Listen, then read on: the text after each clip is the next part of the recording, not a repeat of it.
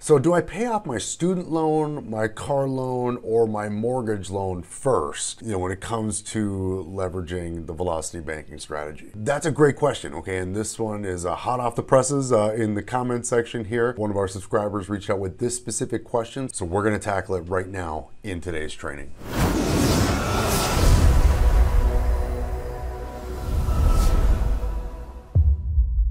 Hey everyone, it's Mike Adams, and on this channel, we empower individuals to achieve freedom through improved financial literacy and business ownership. If you are new to this channel, make sure to click subscribe and click the bell, okay, so that way you get notified on any and all of our future content. So, in today's video, we're going to be answering a question that came in from one of our viewers uh, on one of the videos in the comments section. And guys, keep those questions coming. And as you guys know, I love answering those questions. And, and really, guys, just keep them coming. You know, the goal is clarity. You know, the goal is uh, achieving a, a greater level of financial literacy. And in these times, you know, now more so than ever, um, it's very it's very important to just understand what's going on you know, with the banks, what's going on with the government, what's going on with with interest, what's going on with taxes. It's just very very important right now to at least you know not that you have to have it all mastered, but certainly have a baseline um, on financial literacy, so that way you can navigate some of these turbulent waters. So again, as you guys have questions about anything you've seen on this channel, get those in the comments. We'll make a video just like this to answer your question. Um, but today's question uh, really boils down to uh, really ironing out which debt to pay off first uh, when it comes to attacking your loans using a strategy like velocity banking.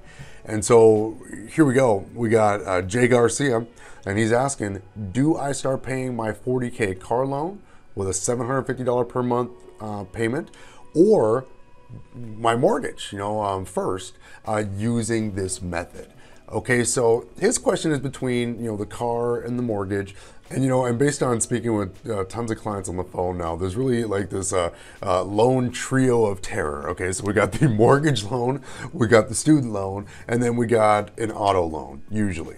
And so it's usually uh, the three. Uh, so in this scenario, we got the two, but you know they're really interchangeable in this scenario, whether you got two or three or four or ten or fifteen different loans. There is a way to organize them, you know, so that way you're paying them off in the right order and in the most efficient way, so that way you can get the best results. Okay, and we did a video on this a while back where I discussed um, several um, different methods that somebody can use. Okay, because um, based on somebody's goals based on how somebody's wired uh, as, as, as a person. Different, there are, again, there are different ways that you can rank the debts. You know, for example, you could use like, uh, you know, the old Dave Ramsey, you know, debt snowball. And, and that is really, really good for individuals that, you know, really need a quick win, right, to keep going. You know, and, and, and you know who you are, right? You know, there, there's some folks out there that you know, if they're not seeing some results pretty quick, you know, it's easy for them to, you know, quit and throw in the towel. So if that's somebody's wiring, um, you know, and, and you want somebody to make progress, you know, I might lean towards, you know, a debt snowball for somebody. But again, that just depends on how the person is wired, okay? If somebody is, you know, you're here on this channel you're looking for some, you know, next level kind of techniques. You're looking to take control uh, of your financial literacy and of your game. Are there other methods you can use? You know, your financial planner or financial advisor might advise you to you know, rank them based on the interest rate, you know, tackle the highest interest rate uh, debt first versus you know, with the snowball, it's going by the lowest balance. With the, you know, debt avalanche, um, you know, that's again where they're attacking the interest first. So, you know, some people would, would lean towards that. And, and really, and we did an analysis on this where we broke those two methods down and, you know, the avalanche will actually save you some interest um, versus the snowball. But again, um, you know, a lot of times the highest interest loan might be a larger debt, meaning a longer payoff, so you don't get that quick win. So again, it depends on the person which one's right. The one that I really just go to every single time as a business owner and as an entrepreneur, um, I'm always thinking about cash flow, right? And, and you've seen the videos uh, on this channel where we talk about the power of positive cash flow and having as much as humanly possible. And when you have a, when you have more positive cash flow, you know if you're paying off debt, it gets paid off a lot quicker when you have more positive cash flow. And so my preferred method for ranking the debts is to use what's called the cash flow index, okay? And so what you do is you take the balance of your loan and you divide it by the monthly payment on that loan. Okay, so let's use this example here. Let me pull out the old trusty uh, calculator. Okay, so we got, there we go. Let's pull this bad boy out. Okay, so we got a 40,000, okay, uh, a car loan here, and then divided by the $750 payment. And that's gonna give us a cash flow index score of 53, okay? And what we like, and what this is really measuring, uh, the cash flow index, is the efficiency of the loan, right? Is this loan um, payment versus balance a big drag on your cash flow? Okay. And so if a loan has a cash flow index score of over 100, that would be a pretty efficient loan you know that's a loan where you got a pretty you know small uh, size payment in comparison to how much of a balance you're actually parking there in that particular debt. With a debt that's closer to a 50 um, that's where it's kind of getting towards inefficient okay? And then from there anything below 50 on a cash flow index is a very inefficient debt. And what we want to do is we want to get rid of the if it, the lower the cash flow index score that is the, the lowest one is the one you want to pay off first. That's okay. Wow. That, that, was kind of tough to spit out tonight. But um, the, the, the loan that you have with the lowest cash flow index score will be the one that you would pay off first.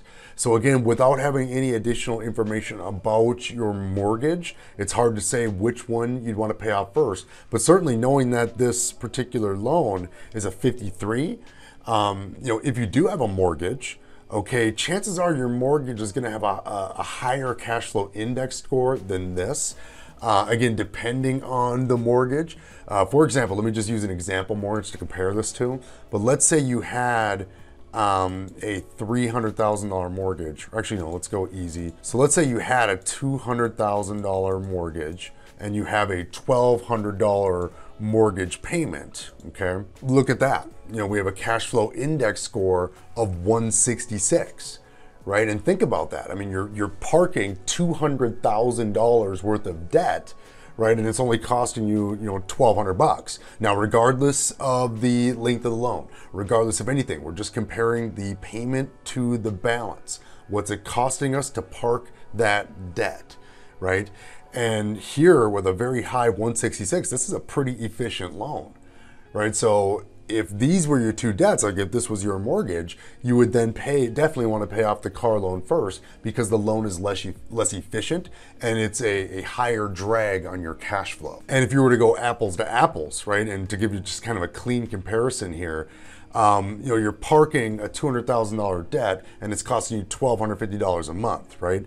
if you were to take the terms of this car loan, right, um, 40,000 times five gives us our 200 grand. So five times the car balance of 40,000 would give us our 200 grand. You know, five times the 750 would give us a payment of $3,750. So if the terms of this car loan were compared apples to apples with the terms of the mortgage, you know, you'd have a $1,200 payment, which you have right now on your mortgage, versus a 3750 payment to carry the same balance.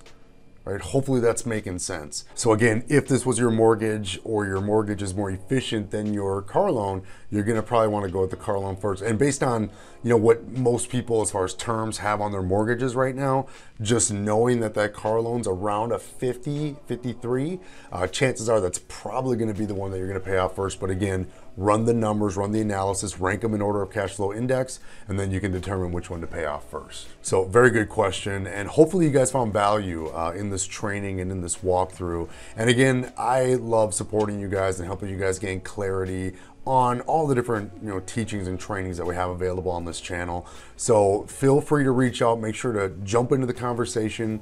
If you watch a video, you have a question, get that question in the comments, and we might just make a video just like this to answer your question. So help me out, guys, with the YouTube algorithm. Give this video a like, okay, and, uh, and really just smash that like button, uh, you know, uh, until until it turns nice and blue, and uh, it lets the algorithm know that you like these kind of videos where I'm where I'm really digging in and answering your guys' questions as they come in. So if you give this video a like, that would really help me out a lot. It would really help me out to reach more people with our content. But that's all for this training. We'll see you in the next video.